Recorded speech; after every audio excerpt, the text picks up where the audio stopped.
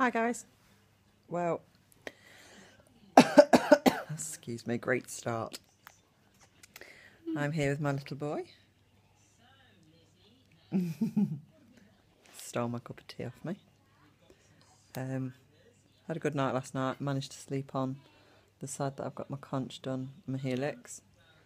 Um, uh, when I woke up, my rook, which I had done yesterday, a little bit bloody, just on that the underneath bit here, but not not too much. It's a little bit tender. Hurts to wiggle my ear. If I can get close. My tragus I've had done for six years. So that's how old days. I'll show you the others. Don't know if you could see then. Um, yeah, really happy with them.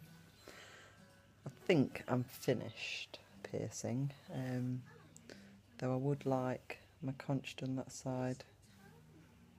Maybe my tragus done that side. I'd like my tongue redoing. Maybe my